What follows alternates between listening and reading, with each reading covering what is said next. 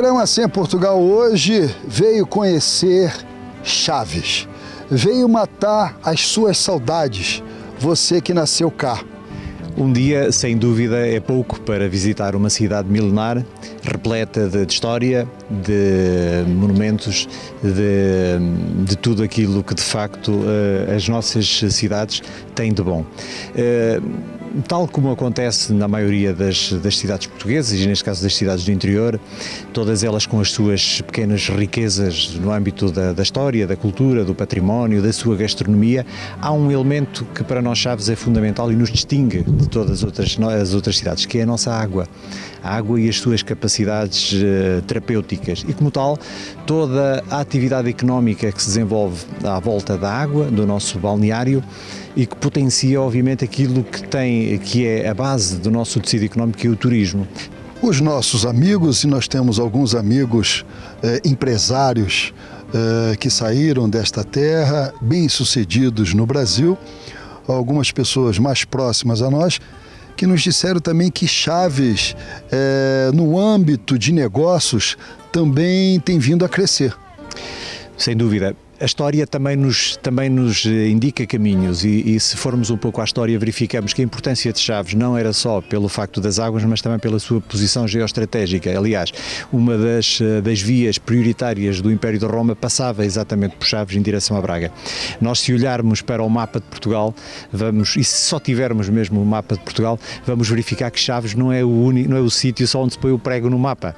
Para nós pendurarmos o mapa direito, o prego fica colocado em Chaves. Isto quer dizer que este este posicionamento de Chaves é estratégico. Faz com que Chaves se encontre neste momento dentro de um raio de uma hora e meia das grandes cidades, quer portuguesas, ao nível do Porto, de Viseu e do norte de Espanha, o que faz com que eh, seja potencialmente eh, seja, seja interessante sobre o ponto de vista essencialmente da logística. Temos também, desenvolvemos obviamente sobre o ponto de vista industrial, que não é o mais desenvolvido, não é o setor mais desenvolvido efetivamente aqui na região, como digo que é, é o turismo, mas temos, quer através da criação do parque empresarial, quer também do, desse centro logístico, uma grande infraestrutura que tem eh, uma capacidade imensa para se expandir, assim tenhamos a capacidade também de atrair, obviamente, este, o investimento e os investidores, eh, venham eles, obviamente, de onde vierem, mas se forem eh, da nossa terra, se for gente da nossa terra e que, que tenha esta capacidade de empreendedora e que quiserem instalar-se em Chaves, têm com certeza um local para o poder fazer e todos nós ficaremos, obviamente, agradecidos por isso também.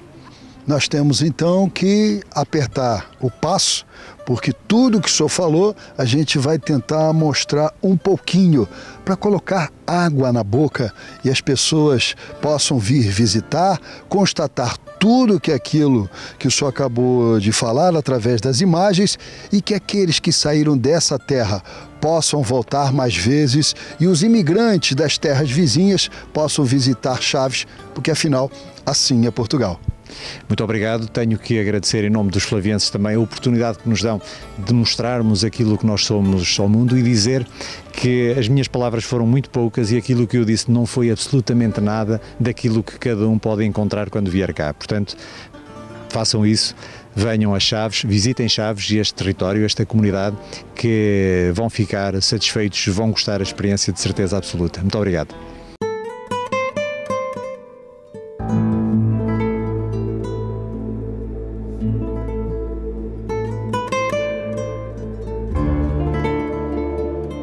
Programa Ser Portugal vai começar por visitar o seu museu, porque o vice-presidente nos disse que tem muita história. É verdade? Sim, é verdade. A cidade é uma cidade milenar. É, a origem da cidade, com, aproximadamente como conhecemos hoje, é basicamente de origem romana e estamos na, na parte principal do Museu da Região Flaviense. Eh, o nosso museu, digamos que é constituído por uma rede de museus.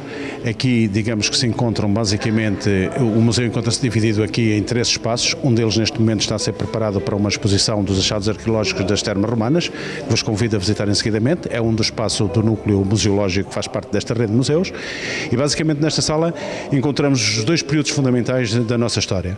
De um lado, o período pré-romano, ou seja, que corresponderá aproximadamente ao milénio antes de Cristo, eh, que representa toda a, questão da civilização castreja da nossa zona, e do outro lado o período romano, que corresponderá, irá desde, desde alguns anos, algumas centenas de anos antes de Cristo e até ao, ao, aos dois ou três séculos seguintes eh, depois de Cristo. Portanto, esta digamos que é a sede do, do museu.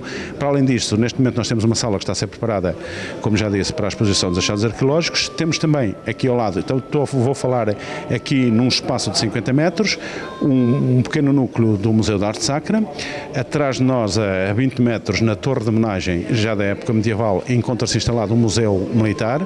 Portanto, Chaves, em termos uh, históricos, é uma cidade que é de visitar, como é óbvio e evidente. Há muito que ver.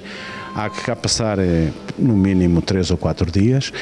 Então, vamos, nós e quem nos assiste, conhecer um pouco de tudo que Chaves pode oferecer, ou melhor dizendo, um pouco, já que três dias são necessários para você conhecer toda a história aqui de Chaves. O programa Assim é Portugal. Nesse espaço, seria um espaço histórico este?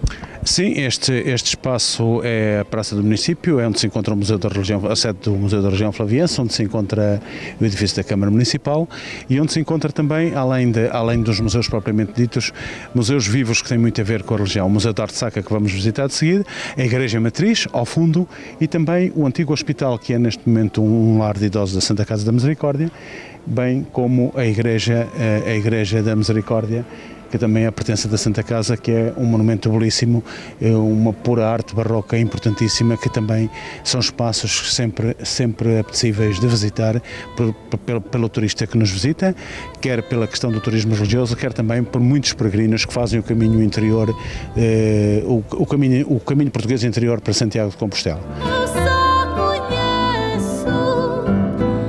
Passar agora a caminho das termas e vamos passar numa pequena sala do, do arquivo histórico, eh, que foi uma reconstrução relativamente recente e que os achados arqueológicos também da época romana foram musealizados, eh, quer o edifício que teve que ficar suspenso para se ver os achados das antigas construções romanas, bem como uma sala, uma pequena sala de exposições dos achados eh, que lá foram encontrados e que, está, que foram devidamente conservados e que estão neste momento à disposição do público em geral.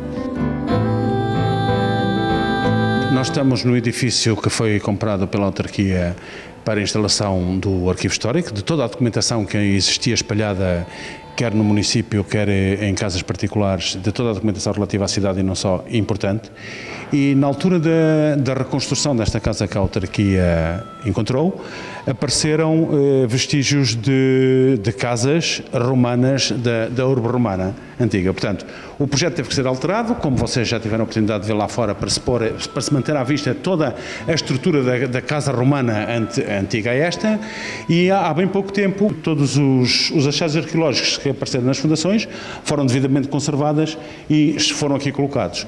Portanto, estamos a optar cada vez mais por tentar, sempre que possível, localizar os aspectos que são encontrados aos sítios próprios.